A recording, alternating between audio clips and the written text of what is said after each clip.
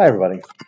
This is Mr. Falli, and welcome to the beginning of Big Idea 4, which is reactions, stoichiometry, and more and more and more and more and more. Today we're doing the very intro to reactions. So, uh, first of all, we have reactions which physical changes are not chemical reactions. So the most common that you'll hear in AP chemistry are phase changes. So a solid to a liquid, you should be able to draw these pictures. So I got a solid, it turns into a liquid. Um, and that's called melting, freezing, boiling. These words aren't all that crazy. Um, a liquid turning into a solid. Um, now in this, we do have a liquid turning into a gas, but note the number of particles does not change. We can also have a gas turning into a liquid, right? It's condensation.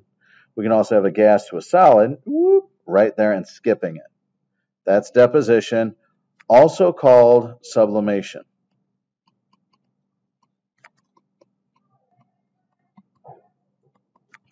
And then solid to a gas sublimation. Um, examples of solid to gas, um, the most common example of that is CO2, and it goes directly from a solid to a gas. It's dry ice.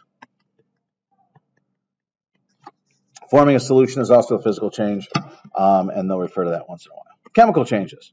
You know the signs of a chemical change. A precipitate forms, which is a solid from two solutions. Um, a color change, so examples where you'll see something like that would be rust, rotting apples. Um, you'd see color change that happens from that. Light and sound explosions. Um, and then just regular light bulbs. Um, a gas forms, um, which in chemistry is often bubbles, or what we saw in our lab and a new substance forms is always true. These are just all examples of a new substance forming too, except for the energy ones. Common patterns of chemical reactions. There's synthesis. Now, um, names need not be memorized. We will never even use them. But you should be able to recognize the pattern. So you don't need to know these names. You did in ChemExcel. You don't anymore. Okay. Um, synthesis is two things smash into one. Um, I'm just going to balance this because it's fun that way. Um, I want to remind you the products. Going to erase that word. Products balance the charges.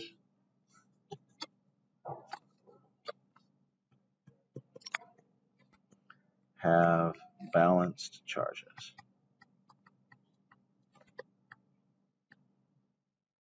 So Na is plus 1, Cl is minus 1. That's why it's NaCl. Um, decomposition, by the way, the products will always have balanced charges, whatever we're looking at here. Okay. So decomposition, um, this decomposition gives you a lot of help. They're typically given to you, um, and you don't need to be able to predict them very well. Single replacement, um, one part can react with the other. So A and C can replace each other, or B and C can replace each other. Okay. Although I think I underlined that in the wrong spot, didn't I? Yeah, I did. I can fix my underlining. But basically, C is going to replace one of them. So C is more attractive than B and it kicks it out. Or C is more attractive than A and it kicks it out. Um, you can identify which one.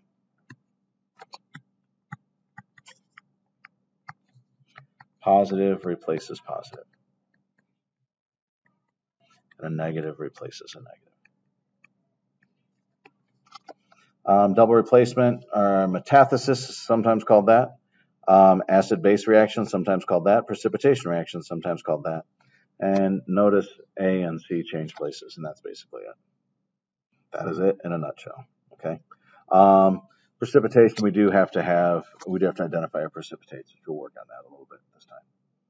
Combustion reactions, um, you're going to add oxygen to each part. So if I have C and H, I'm going to get CO and HO. If I have M, I'm going to get MO. If I have C and H, I'm going to get CO and HO.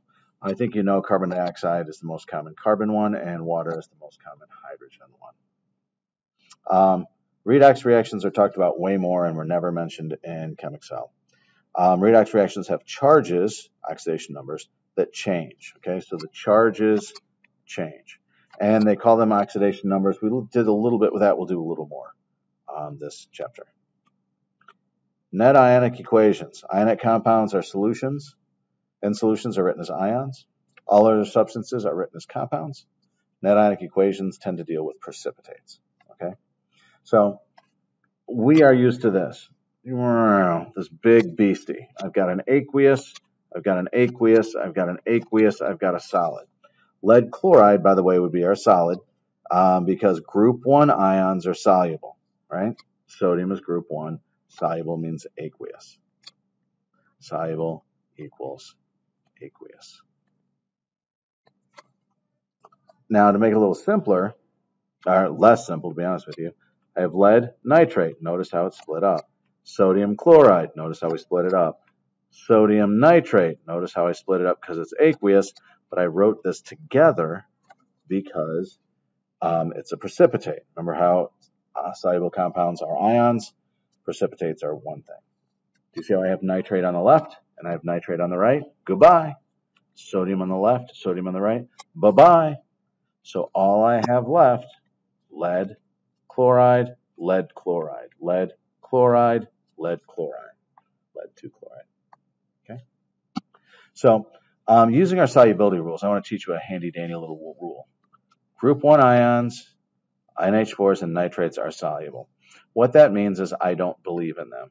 I'm going to cancel them right away. So I'm going to be quick on the periodic table. I guess I'll draw myself a quick little periodic table for my group 1s. K is a group 1 ion. Na is a group 1 ion. You see I have OH negative and SO4 negative 2 from the ions I memorized? This is no reaction. So again, one, cancel, always soluble. Step two, check. That's a check mark. Leftovers.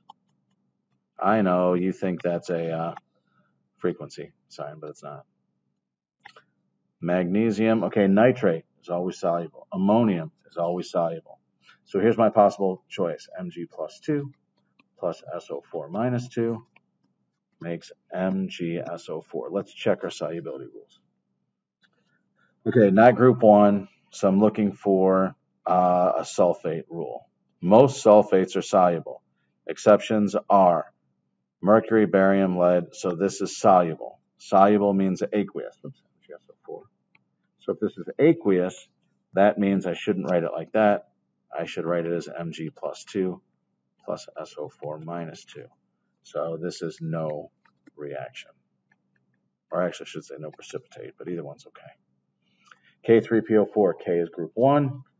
Uh, that's all I can do. So I have phosphate plus copper, this comes from plus 2, plus Cl negative. So phosphate is going to react with copper or nothing.